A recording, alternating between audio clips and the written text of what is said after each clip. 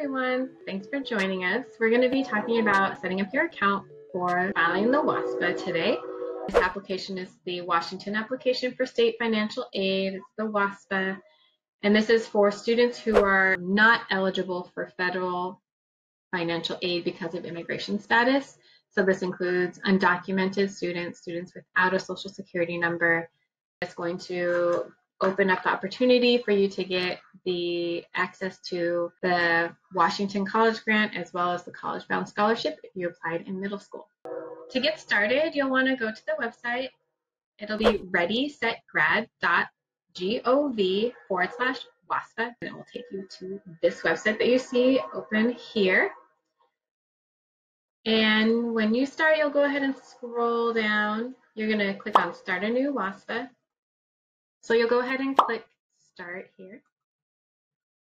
And then it's going to ask you a series of questions. This is helping you to figure out if you should be doing the FAFSA or the WASFA.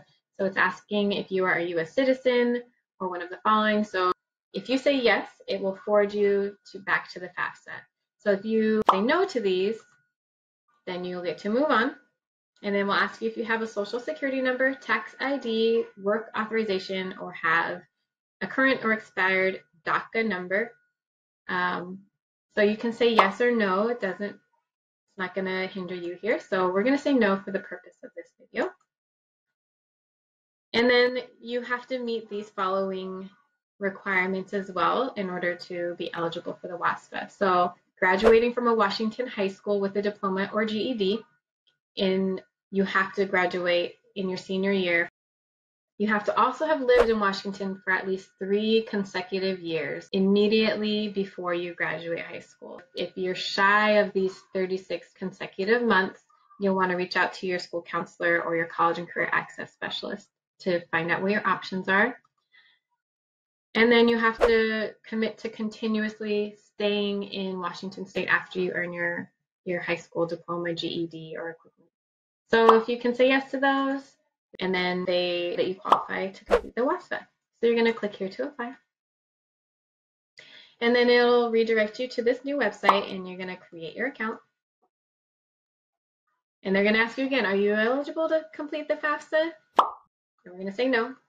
And this privacy notice, this is just a explanation that any information you put in here can only be used for the purpose of tuition and financial aid, and it can't be shared with anyone outside of the educational institution that you share it with.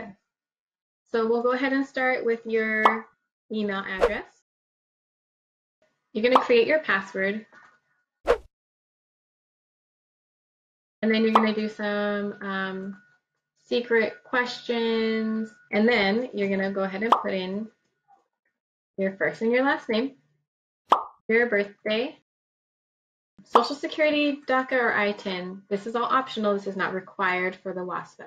So if you don't have it, you just leave it blank and that's okay. But if you do have any of those things, put it in there two times. If you've done a WASFA already once before and you're just um, doing it again, in a, for the new year, you you will have assigned WASFA ID. If this is your first year, then you're not going to have one of those. You're going to type in the security code you see, whatever that is you see when you do it, and then you're going to register.